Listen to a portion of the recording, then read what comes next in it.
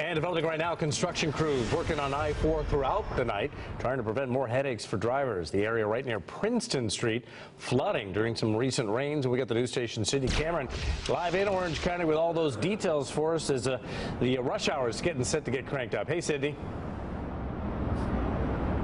Good morning. Well, if you have ever driven through this area during heavy rain, you know how bad the flooding can get on I-4 near Princeton Street. But now crews are working to change those traffic patterns to hopefully prevent future problems.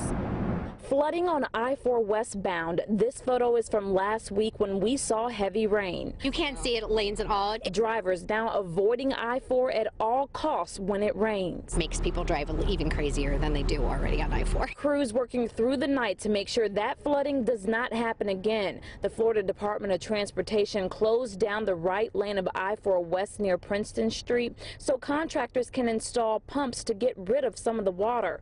Contractor SGL saying in a statement they will change traffic patterns because of the flooding. That includes moving westbound traffic into a new configuration that will avoid the flood prone areas and speeding up the timeline to shift eastbound traffic to the newly elevated permanent road.